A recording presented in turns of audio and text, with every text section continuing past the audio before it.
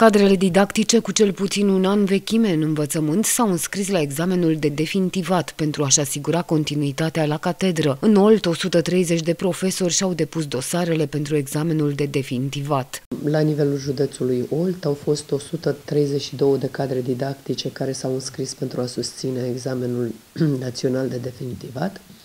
În perioada de validare a dosarelor 130 uh, au îndeplinit condițiile pentru a participa la acest examen și două dosare au fost invalidate pentru că uh, acei candidați nu îndeplineau condițiile de vechime. Sunt 25 de discipline pentru care s-au înscris uh, candidați de, de pentru a susține examenul de definitivat și disciplinele unde sunt cei mai mulți uh, avem 47 de dosare depuse pentru educatoare, 14 la învățători și 12 dosare la uh, puericultori. Înainte de susținerea probei scrise, pe candidații îi mai așteaptă și inspecțiile de specialitate. Până la data de 30 mai, uh, cei 130 de candidați urmează să susțină inspecțiile de specialitate.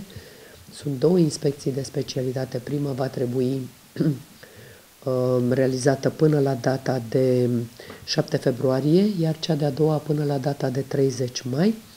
În perioada 2-13 iunie se vor completa dosarele și vor fi validate în aplicația informatică dedicată.